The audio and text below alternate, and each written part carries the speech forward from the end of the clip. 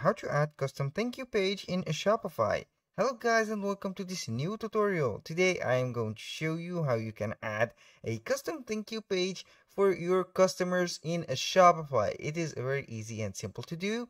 All you have to do, as always, follow up the tutorial from the beginning till the end and you will be good to go. Now, we are on our Shopify store the first thing that you need to do is to set up your Shopify store. This is the first thing. You have to set up the plan, also the products. So this method will work properly. So how can you accept or expect a customer to see a thank you page without a product and buying something?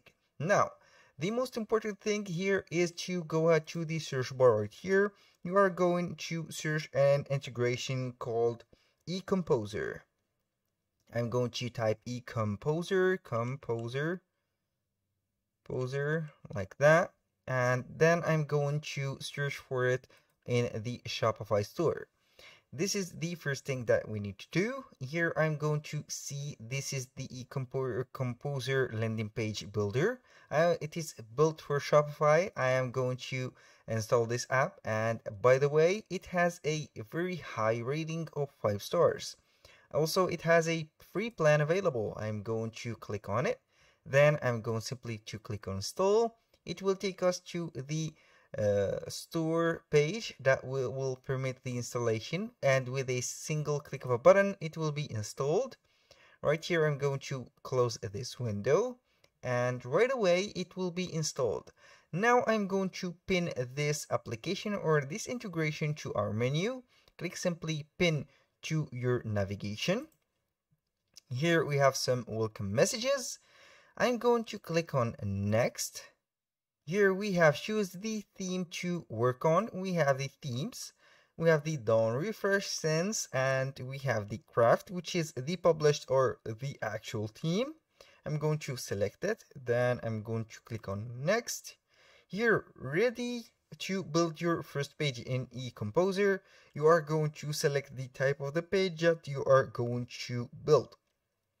We have landing pages, uh, home, product collection, blogs here. If you don't find a uh, welcome page or a thank you page, all you have to do is to click landing and pages. Then you are going to select a template right here we have uh, the template select page it will be shown up right here and now we are going to see the selected template here it is a blank template you can go ahead and use a black blank template or you can choose one of these complete or preset templates that you can see we have a lot of uh, templates that you can uh, see right here and I'm going to with the blank template. I'm going with that.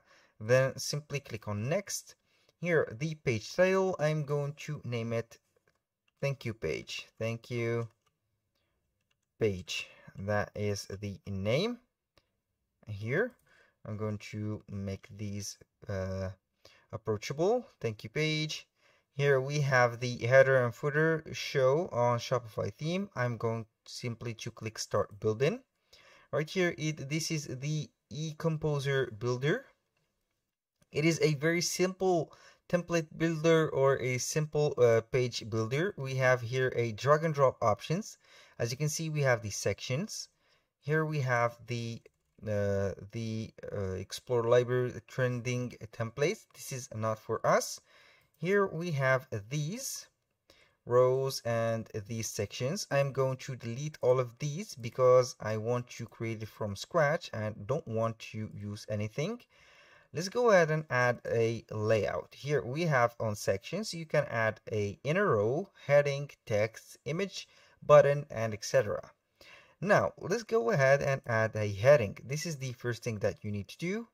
As I said before, it is a drag and drop menu. I'm going to drag the heading right here, put it simply in there and here we have it now to modify this all you have to do is to click on the pen tool or you can go ahead and select the text. For example I am going to put thank you like that. Uh, this is not what I wanted to do but it's okay.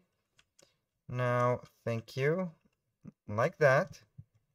And here we have it. Thank you for this is not what I wanted to uh, create. I don't know why it is persisting uh, these things can go ahead and uh, add it right here. Put the uh, right here the the uh, thank you message. Thank you. You can write it right here or, or from this modifier or this editor. Thank you for example like that for purchasing purchasing from us uh, this is the page. I'm going to put it for on bold like that. Here I'm going to you can go ahead and align it or it is up to you. For example now we have the color. You can choose the color of the text like that. You can go ahead and modify whatever you want. You can also put a link on underneath the text. Here you can use the tooltip now this is for the content. For the design we have the text. For example you can go ahead and design the text. We have the alignment. Here I can go ahead and put it at the center. Here we can choose the typography or you can customize the font and the weight transformation. It, it is a very rich in content. Uh, now I'm going right here to the content. I'm going back. I'm going to add a inner row for example like that this is the inner row. I'm going to add for that a a button or I'm going to add a gallery. This is the gallery. I'm going to choose the images right here. Click on this. Upload some images. Let's see what do we have some image? I'm going to add a image like this. This is the first one. This is the second one and this is the third one i suppose and finally this is the fourth one. This is just an example to let you see how uh, can we make some thank you page. For example here i'm going to per like this purchasing. And now uh, we have for example a video. You can go ahead and add a video. This is a video presentation from the eComposer now I'm going to delete that. I don't need it. We have some icons. For example you can add a icon here. You can go ahead and put the icon uh, you can change it to whatever you want. You can also upload an icon if you if you have a icon already up.